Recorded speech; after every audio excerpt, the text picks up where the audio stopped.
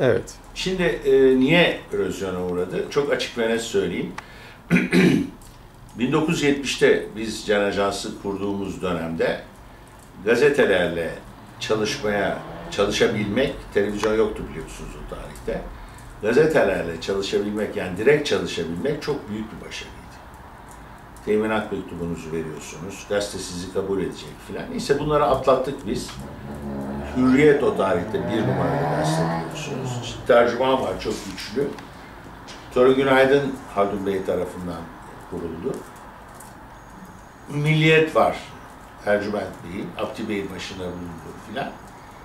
Ee, oradaki geçmiş hikayeleri aşarak söylüyorum. Biz direkt çalışmaya başladık filan. Ve bazı prensipleri vardı gazetelerin. Bir, dergilerin de tabii. Birinci prensip, reklam ajansıyla sadece muhatap olurlardı, müşteriyle muhatap olmazlardı. Herhangi bir peşin parayı da versen, ihtiyacından on misline versen hiçbir zaman indirim söz konusu değildi. Tarifeleri vardı. Tarifelerindeki fiyatlardı. Reklam ajanslarına ödedikleri komisyonda yüzde yirmi beşti. Reklam ajansları o yüzde yirmi beşle yaşarlardı. Ee, zaman içerisinde bu yüzde yirmi beşin hepsini reklam veren ne reklam ajansları vermeye başladılar. Bu sefer üzerlerine koydukları servis çarşıları değişmeye başladı.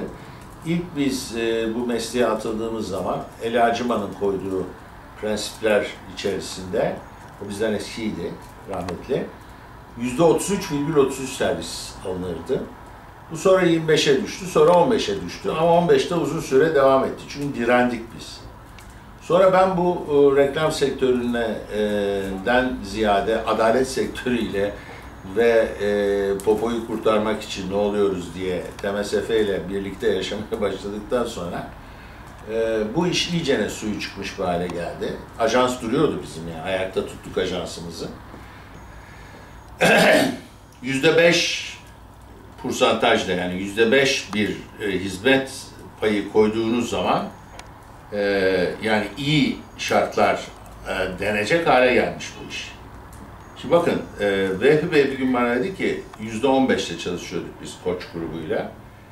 E, sen dedi kaçta çalışıyor? Efendim yüzde on beş alıyoruz dedim. Katiyen dedi bizim dedi genel müdürler falan indirim isterlerse kabul etmeyeceksin dedi. Lan Vehbi Bey böyle der mi? Tam aksine. Efendim dedi niye bunu söylediniz? Bak dedi oğlum, senin dedi maliyetin aşağı yukarı yüzde sekiz dedi iş maliyeti. Sen dedi yüzde yedi kazandığın zaman şükret.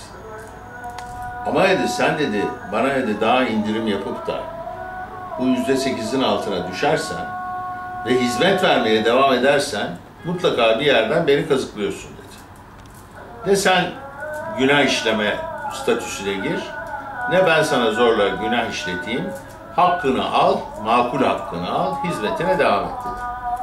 Şimdi bugün yüzde iki, yüzde bir, hatta bazı medya şirketleri var, üstüne para veriyorlar müşteriye. Sıfır komisyon çalışıyor, üstüne para veriyor.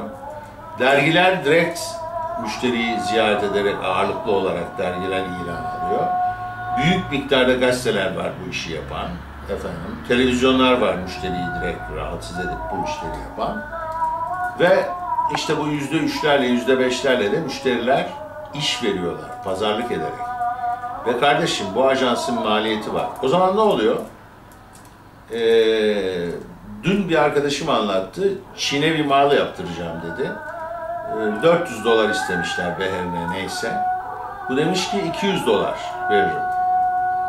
Adamlar okey demişler. İstiyorsan 100 dolarlık da var. 200 dolarlık numuneyi gönderdiler. Bende 400 dolarlık numune vardı masamın üstünde diyor. Adam malın kalitesinden çalmış diyor. Çin 13'ün 100 dolarlık malda var, 400 dolarlık malda var. Senin isteğine bağlı. Bizim işimizde öyle bir şey yok. Bizim işimiz belli. Ama bizim işimizde sen benden böyle olmayacak fiyatlar isteyip de ben de işsizlikten dolayı boynumu eğip peki demek mecburiyetinde kalırsam ne oluyor biliyor musun? Ya ben seni şerefsiz bir ajanssam, kazık atıyorum.